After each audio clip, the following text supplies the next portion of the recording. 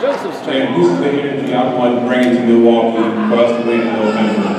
Um, I am, I am, I am Joseph Williams Chair, and I'm running for convention chair for that reason alone, to say that we have, right before us, just last week, the conviction of Donald Trump. And in my mind, immediately I said, this is going to galvanize and pull the Republicans together.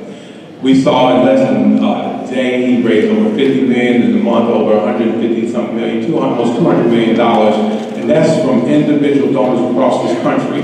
That says that the party is saying we need to start coming together and that there's only one side. The number of people who ask me, hey, can you come and tell me about the other side? I'm like, there's no other side. We may have some disagreements, but the other side is called Democrats.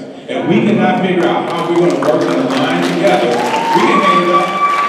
I need your support, I need your vote. I'm Joseph Wood, Convention chair. If you have a yellow lanyard, if you have a yellow lanyard, please stand so the tellers can get you a ballot.